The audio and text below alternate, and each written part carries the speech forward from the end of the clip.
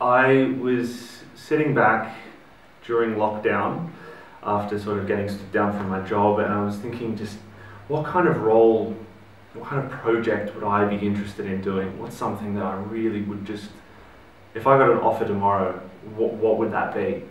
And that's the sort of question that I just sort of followed down, and then the next day I saw a headline in the newspaper that said uh, 46 Australian soldiers died in the Afghan Iraqi conflict, but over 500 have committed suicide since coming home.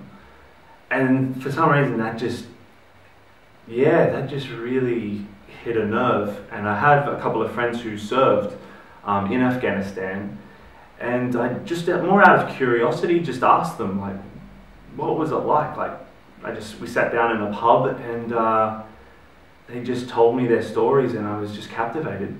I, I felt like it got to the point, you know, as a writer, that when it hits a point that you feel like you cannot not tell this story, that people need to know it. And if it, this story isn't told, then you haven't delivered justice as an artist.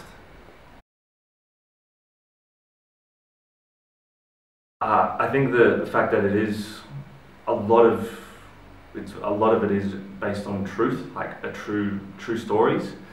Um, the fact that it is very current, uh, its, its subjects and the themes that it explores are extremely current, particularly in 2021 Australia.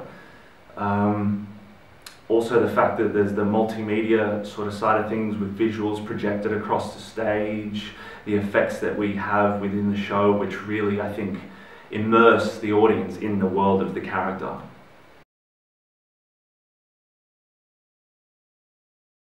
I think it's a very rare thing in theatre, and I think it's a it's pretty much the reason why we all do it is that it leaves you with an experience.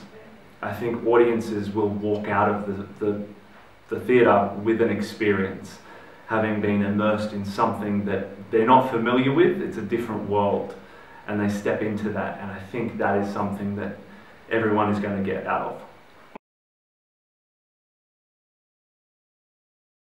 It's been really, really great, better than I could have thought. Um, everyone, it's so exciting because you, as a writer in particular, when you write this piece, you, it, it lives in your mind for so long, but then to give your baby to other people and such talented people that are involved in this production, they've just sort of thrown their own parts to it and raised it, and it's just developed into something that's going to be something very, very special.